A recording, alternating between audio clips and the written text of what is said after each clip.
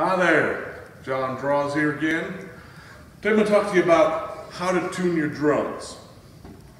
Now, if you ask 20 different drummers how they tune their drums, you probably get some different answers. Um, what I'm going to talk about today uh, is the way I get the way the drums to sound the way that I like them. It's based on science. I'm going to try and not get too sciencey talking to you. And also, a lot of the drummers that I admire tune their drums this way also.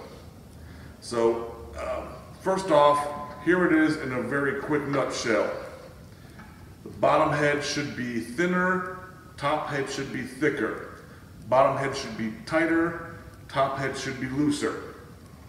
Some people hear that and they kind of don't, why should the bottom head be tighter? There's, there's a lot of science into that. It makes the drum sound good.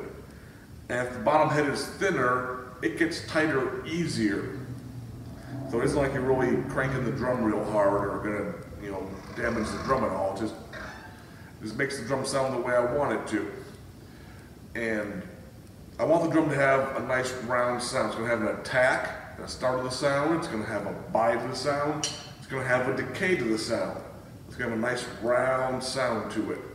Um, the way I tune my drums, the sound is still fairly short.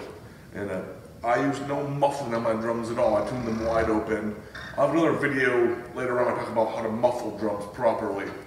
Um, my drums still get a fairly short sound because of the way that I tune them. I use thick heads on top, and I tune them kind of medium low to low, so they respond pretty quickly. Also, with my classic drum set, these are 60s Ludwig drums. They have what's called a, a rounded over bearing edge or a ball back bearing edge. So it's not as punchy and ringy as a more a modern drum would be, which kind of also produces the sound. And I like the way my drums sound.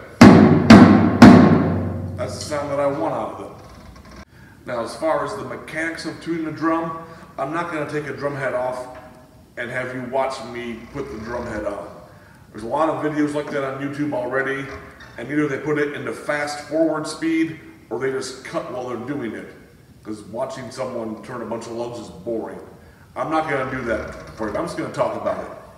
When I put a drum head on, you want to make sure the drum head fits in the rim properly, the rim's not bent out of shape, um, and that sits on the drum nicely. Then I go ahead and I finger tighten all the tension rods. Just to be clear, some people use different words to describe them. This part of the drum is called the lug. This part's called the tension rod. Some people call this the lug, but the proper name is that this is the lug and that's the tension rod. Just so there's no confusion as I'm talking to you. I get all the tension rods just finger tight. And that means as soon as it touches the rim, I stop tightening it.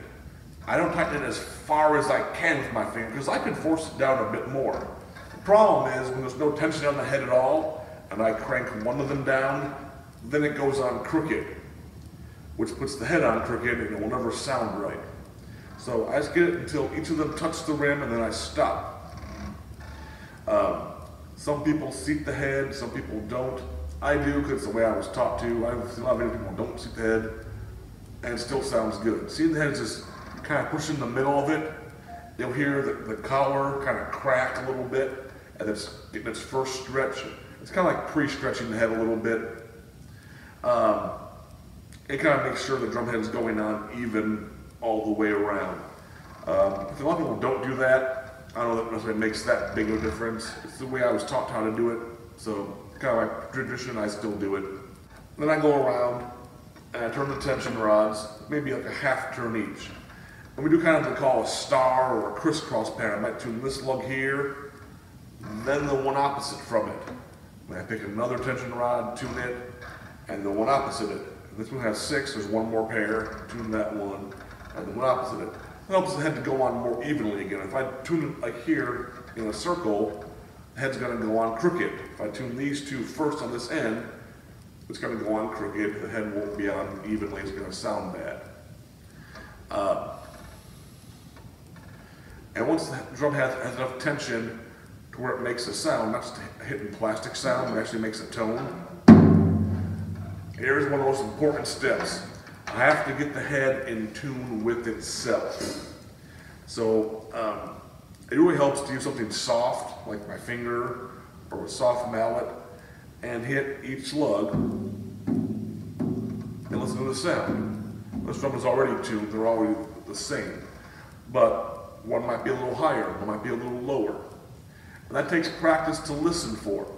You know, you have to just kind of listen carefully. Was it higher or lower? Do they sound the same or not? If it sounds different, adjust one of them. If you can't tell if it's higher or lower, just adjust it and see if it gets better or worse. Now they sound less the same, go the other direction.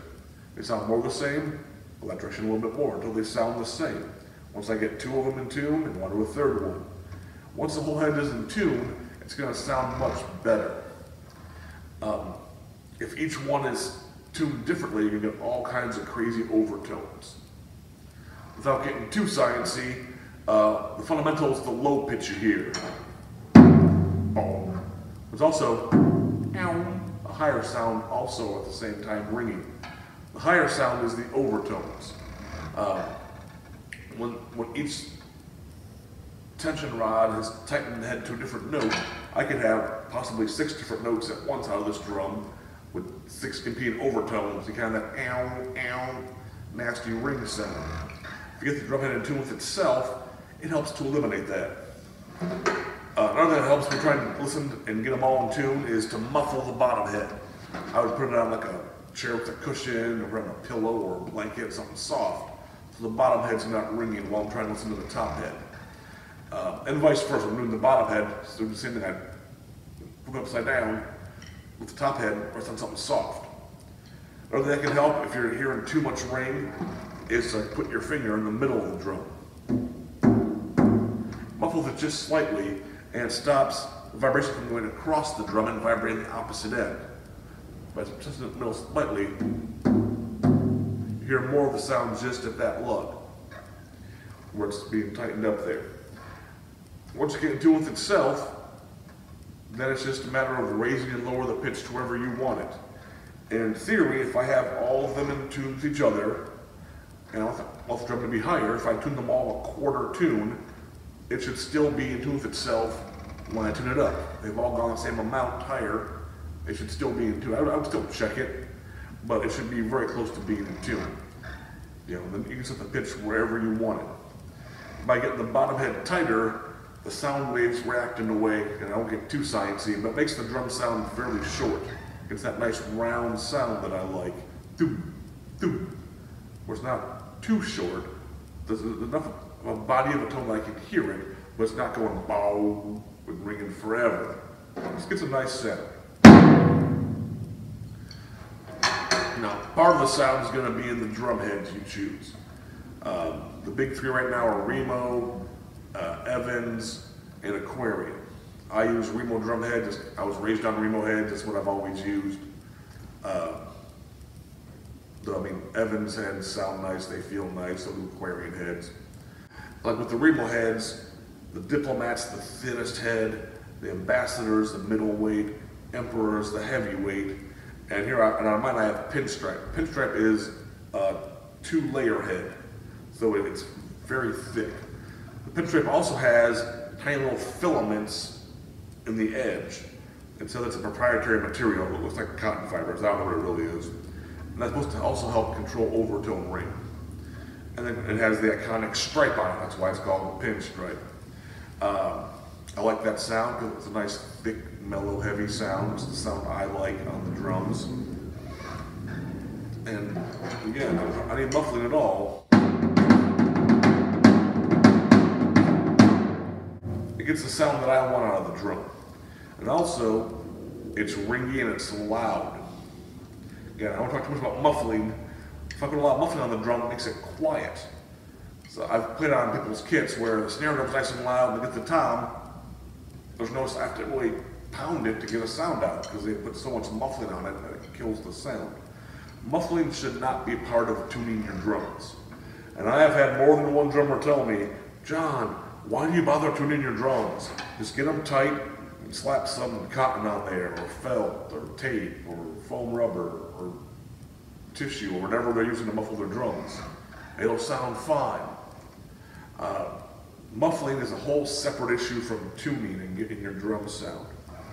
And that's kind of how you would tune a tom. Um, and that general advice works for any drum. For my snare and my bass, I have a thicker head on top, thinner head on the resonant side. Resonant side is tighter, the batter head, the part you hit, is looser. I'm gonna have other videos coming out with specific things about the snare drum. It has some other special things about snare drum. Uh, I've done a video specifically about bass drum as well. But that's my general rule for tuning any drum. Bottom head is thinner, and then tuned tighter, higher. The top head is thicker and tuned just a little bit lower. And it gets that nice round sound that I like.